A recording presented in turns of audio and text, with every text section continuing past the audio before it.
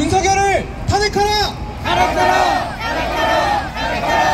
네, 감사합니다. 네, 다음 발언 들어보도록 하겠습니다. 다음 발언요, 이경 어, 부대변님 발언 모셔가지고 발언 듣도록 하겠습니다. 네, 큰 박수 부탁드리겠습니다.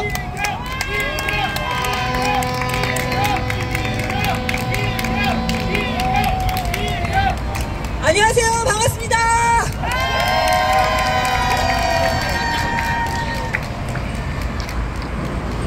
담벼락에 대고 욕이라도 해라.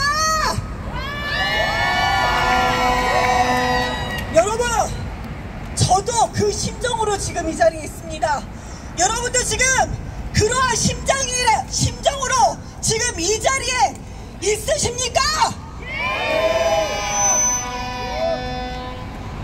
여러분, 아이고, 저는 단식도 안 했는데 잊어버리네요. 여러분, 국가의 주인은 누구입니까? 네, 맞습니다. 국민입니다. 민주주의, 민주국가, 민주라는 뜻은 국민이 주인이다라는 뜻입니다. 그러나 지금 어떻습니까? 윤석열이라는 사람은 후보일 당시부터 손바닥에 왕자를 새겨놓고 나타나서 지금 왕처럼 군림하고 있습니다. 이것이 잘된 나라입니까? 잘못된 나라입니까? 여러분, 우리가 더 이상은 아스팔트에서 이렇게 바닥에 앉아서 이러한 집회를 여는 그런 시간이 오지 않을 거라고 생각했습니다. 그러나 마음이 아픕니다. 여전히 국민은 아스팔트에 나와 있고 이제는 국민들이 끼니를 걸어가며 나와 있고 며칠씩 열흘이 넘도록 단식 투쟁을 하고 있습니다. 윤석열 대통령인 이 정권에서는 모든 것이 국민의 책임으로 국민의 희생으로 돼가고 있습니다. 이것이 잘 된 나라입니까? 여러분, 누군가 그렇습니다.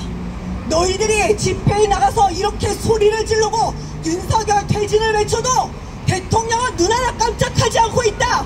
나라가 바뀔 것은 없다. 다음 총선에서 민주당이 그렇다고 승리하지 않을 것이다. 이렇게 외치는 사람들이 있습니다. 그렇지만 우리는 보여줘야 합니다. 우리는 여기서 이렇게 외치고 있다고요.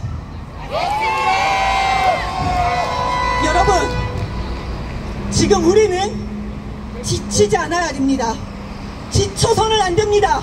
우리가 아무리 투쟁해도 꿈쩍 않는 정권인 것 같지만 그렇지 않습니다. 국민이 모두 깨어서 목소리를 내면은 어느 순간에 어느 순간에 한순간에 무너질 윤석열 정권입니다. 여러분 힘내십시오. 여러분 힘내십시오. 여러분 힘내십시오. 내일 3시에 뵙겠습니다. 저는 이경이었습니다.